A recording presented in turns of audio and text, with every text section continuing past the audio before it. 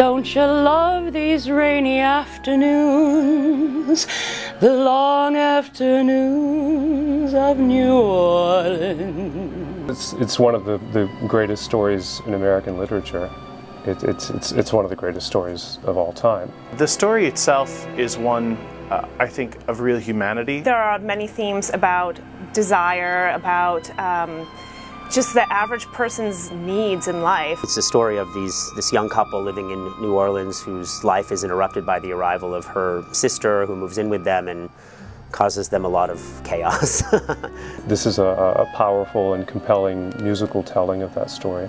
I think uh, you know one of the challenges of this opera is that a lot of people are already familiar with the story.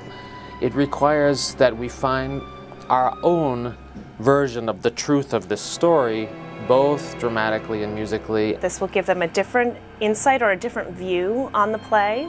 And in the meanwhile, they'll get to hear some amazing music. The setting of the opera, with the addition of music, gives it such a nice flavor in that if you love the play or you've read the play and you know the story, then you're going to come to the opera and you're going to say, oh, hopefully, this is even better.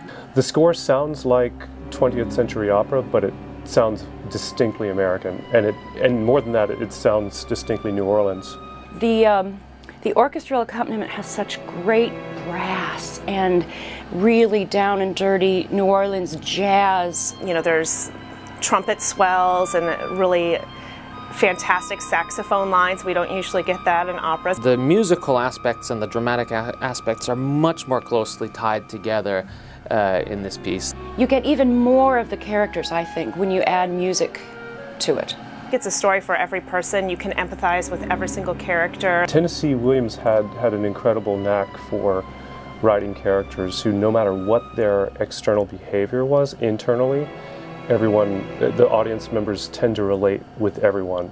Music is the, the greatest tool for showing that which is not expressed when you hear the music, the music actually are those beats between words or between, between sentences. Um, it kind of leads you to the next feeling. The tension between the characters, you can hear it. Well, I think we're incredibly lucky. We have a great team. The cast is amazing. The, I, am very, very impressed with the cast. And uh, the director is, is very committed to, uh, to theatrical realism. And uh, I'm very excited about this show. It's going to be a really good one.